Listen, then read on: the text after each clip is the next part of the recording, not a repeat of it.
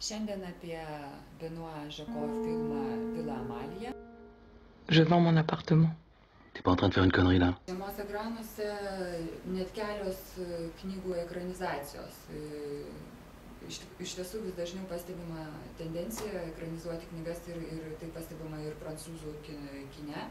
E, Norėčiau išskirti vieną iš ekranizacijų, tai romaną Vila Amalija paskaltinę romaną Vila Amalija ekranizacija.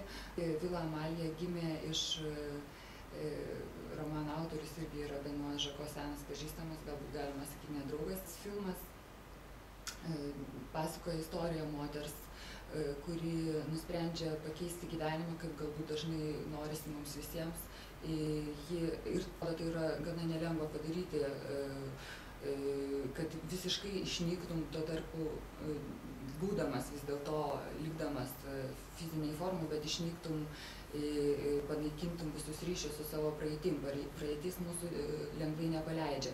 E, Taigi ta heroja, ta stipri heroja, kaip dažnai ir tenka stiprus, stiprios moters vaidmenis Izabel Beck, e, ji atlieka šį vaidmenį puikiai ir ji iki galo siekia savo tikslo, būtent atsisakyti visko, palikti viską praeitį ir, ir pradėti viską iš naujo.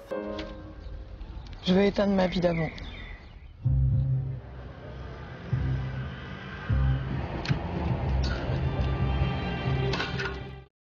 Kaip jai seksis, pamatysite filme, jinai nukeliauja galbūt ne taip toli, e, nukeliauja iki e, salos Italijoje, bet būtent ten randa savo prieglopstį, e, paslaptingą namą, vilą, pavadinimu Amalija ir, ir ten apsigyvena.